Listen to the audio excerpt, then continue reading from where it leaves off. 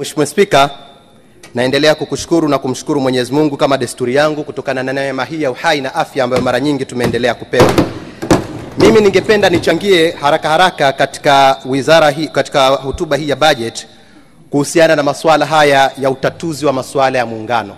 Niipongeze sana ofisi ya makamu wa rais kwa namna ambavyo imeendelea kupambana na masuala ya muungano na wakafanikiwa kutatua baadhi ya changamoto za muungano, hasa hizi tano ambazo zimesemwa katika bajeti. Lakini mimi nigusie hasa hii yenye kuhusu gharama za kushusha mizigo bandarini. Mheshimiwa Spika, muungano huu pamoja na faida zake, kama alivyotangulia kusema wachangiaji wenzangu, changamoto zitakazokuja kujitokeza kwa umri wake namna ambavyo wananchi wa upande mmoja wanafaidi fursa za upande mwingine kwa usawa ama katika nafasi ya kupeana fedha kwa sababu ni muungano. Mheshimiwa Spika, Zanzibar ina watu wasiozidi milioni moja na laki sita kwa makadirio, lakini Dar es Salaam tu peke yake ambayo ndio geti kubwa la watu wenye kutoka upande wa Tanzania Zanzibar kuingia upande wa Tanzania bara ina watu takriban milioni tano kuelekea milioni sita. Kwa Mheshimiwa Spika, utaona namna gani potentiality ya soko la kibiashara ilivyo kwa upande wa Zanzibar na kwa upande wa Tanzania bara hasa kupitia geti la Dar es Salaam. Nipongeze sana kwa hatua hii, lakini iendelezwe haraka ikareflect kwa wananchi wetu kama walivyosema wenzangu. Mheshimiwa Spika, muungano huu upo ambao unawe, muungano huu na utatuzi huu unaweza ukaleta ufumbuzi wa kurahisisha biashara, lakini muungano huu ni wa watu. Mheshimiwa Spika, mimi nakuthibitishia sijafanya utafiti lakini ni uhakika zaidi ya familia zaidi ya asilimia sabini ya familia za wananchi wenye kuishi Zanzibar tuna ndugu zetu upande wa Tanzania bara moja kwa moja. Mimi binafsi yangu baba na mama yangu anaishi Tanzania bara. Kwa hiyo kuna mambo mengi sana ambayo ninayahitaji katika kuunganisha. Kwa wakati wakitatua masuala ya kibiashara na watatue masuala ya kiubinadamu moja kwa moja. Haifurahishi hata kidogo. Mtu anatoka Zanzibar amebeba sukari kilo tano tu kwa ajili ya kumpelekea mzazi wake au jamaa yake Tanzania bara, akifika pale bandarini anaharasiwa. Sasa, sasa Mheshimiwa Spika, wakifanya utatuzi katika jambo hili isemwe wazi, Wizara ya Muungano ikaweke bango pale bandari ya Zanzibar, iweke bango pale bandari ya Dar es Salaam, waseme sukari mwisho kilo moja, ama usibebe kabisa, ishia huko huko. TV usibebe kabisa, ukibeba fuata taratibu hizi za kibiashara. Kwa ningetamani waseme pamoja na kuwapongeza kwa haya waliyofanya. Mheshimiwa Spika, nizungumzie suala la TASAF. Zanzibar ina shehia 338 mpaka sasa shehia mia mbili na nne ndizo ambazo zinapata ruzuku ile kwa watu wa kaya maskini. Ninatambua katika bajeti hii ilivyosomwa kuna mnyanyuko wa shehia. Miongoni mwa shehia zitakazonufaika ambazo zilikuwa hazipati ni zile zilizopo katika jimbo langu la Mtoni. Mheshimiwa Spika, jimbo langu lina shehia tano.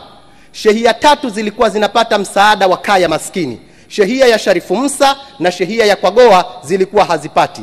Mimi ninatambua katika bajeti hii shehia hizo mbili zimeenda kuonekanwa, lakini ninatambua pia si shehia zote 338 za Zanzibar zitakwenda kumulikwa na mradi wa TASAF katika awamu yenye kuendelea.